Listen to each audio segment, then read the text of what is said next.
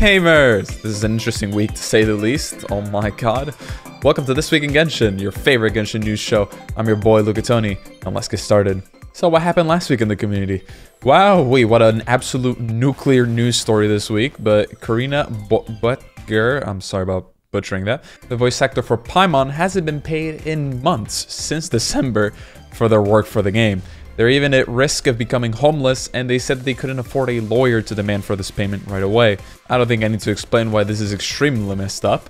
Uh, I will clarify though, it's important to clarify that this isn't the direct fault of Hoyoverse, as they contract work to studios abroad for their voiceover work, so it could have been an error at any point of the chain. Uh, regardless, at the end of the day, this is one of Hoyoverse's most iconic characters and voice actors, so even if it wasn't their fault, they should definitely be taking matters into their own hands and ensure something like this doesn't happen again. With that said, just because Corina is voicing Paimon doesn't mean that every other voice actor that has been affected by this, because yes, there are other people affected by this, just because Paimon is so integral to the story doesn't mean Corina should get any better treatment. Everyone should be paid for their missing work. Uh, and uh, yeah, it's, it's just very, very messed up. So yeah, hopefully Corina and the other actors affected get properly compensated. And whoever is responsible for this mess up gets their act together.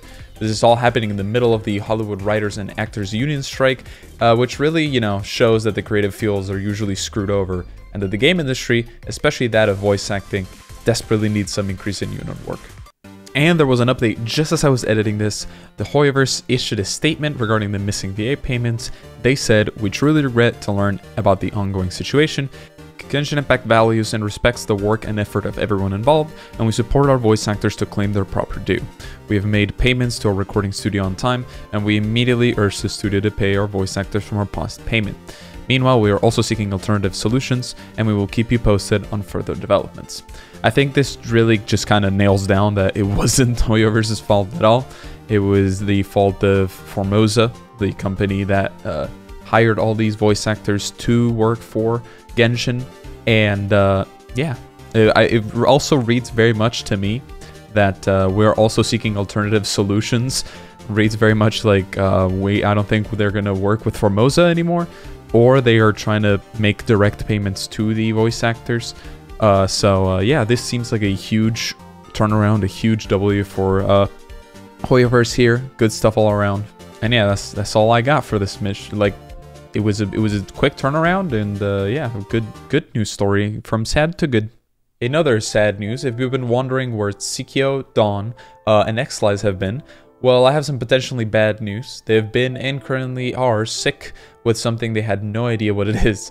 Xlice posted on Thursday that Dawn had some pretty intense pneumonia, even to the point of being hospitalized, which she thankfully made a recovery from. However, Xlice got sick immediately after Dawn was discharged and has felt extremely bad since, some of the worst stuff since he remembers when he was a kid, according to him. He went to the urgent care, but all tests for common infections came negative, so he will just have to wait and see if he develops more symptoms to have a better conclusion. Hopefully it doesn't have to come to that, he can just get better from here on out, uh, we will just have to wait and see. If you're just hearing about this for the first time, go to Twitter or his comment section and drop in some love to help him cheer him up and recover faster.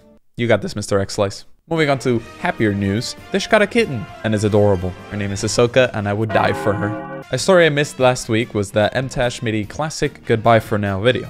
I actually didn't know that he had pivoted from Genshin to Diablo content until I saw this video and its subsequent follow-up. On Wednesday, he posted a video talking about how after his break from Genshin for the past two months, he is now enjoying it again due to Fontaine's new content looking promising, and that Genshin-like games like Wuthering Waves and other gacha games in general is something he still plays and wants to make content on regularly. So maybe in about a month, we see Mtesh return from his 11th quit from the game. Memeing aside, I relate a lot to his explanation of his burnout and the small details that I didn't know about his life that he divulged into the video, which explains a lot about his mentality and gave me a kind of new respect for the man. So it's a vid worth watching, especially if you like his content. Go check it out. And finally, worth, uh, you know, bringing back up, the Fontaine leaks got apparently even more extreme, which practically, you know, the whole 4.0 being leaked. So once again, be careful with your Twitter and Reddit use for the next month if you're trying to stay spoiler free. Only one month away until Fontaine releases, so uh, hold strong everyone. So what happens next week? The Spiral Abyss resets on Saturday and it isn't changing, so uh, for those who has still have fun with the Spiral Abyss, go crazy I guess. a new event called Adventurous Trials Advanced, which is a bunch of little fun minigames, Windblume style, uh, is coming out next week. Uh, it seems alright. It has a co-op, so it could be fun, you know, to run with friends, but uh, yeah, who has those, huh? And to follow up on last week as well, Honkai Star Rail 1.2 will arrive on Wednesday 19th. Kafka and Blade are coming to the game, but who cares about them? Because I, myself, Luca, I'm going to be added into the game. Like, look, I, oh my god, he's so sick. And that's it. Literally nothing else will happen next week. Uh, Sleeper Genshin update time uh, before Fontaine. Nothing else to expect. Okay, I'm gonna be honest. I think there's gonna be another trailer for Fontaine. Maybe it's the copium hitting right now, but I think there's gonna be some underwater exploration video or something along those lines. Kind of what we had for Sumeru for the Dendro reactions and the Dendro Traveler. So uh, yeah, if you if you want to know when that goes live and uh, you know keep up to date with future news, you should definitely subscribe. Hit that like button, hit that subscriber bell thingy that people tell you to do, and uh, yeah, appreciate the support. This week's featured video is the quite nostalgic and funny video Are There Even 1.0 Genshin player that will remember this by Akish, Akashot, Akashot, something like that. And yes, chest respawning and M-Tester mentioned in here. It's a worthy watch. I highly recommend it. Thank you everyone for watching. Like mentioned earlier, go give Mr. X Slice some love, and you might be able to catch him playing Among Us with Dish, Twanto, Bao, and more tomorrow at 7 p.m. PST. One last editing update. Dish has postponed the Among Us game night uh, to a new date. We don't know when that is, so uh, if you want to catch them when they do that, uh, you should probably follow them on Twitter. I feel like this new show is cursed because the second I start Twig back up, um, everything kind of falls apart again. but uh, yeah, we will see what next week holds. Uh, knock on wood.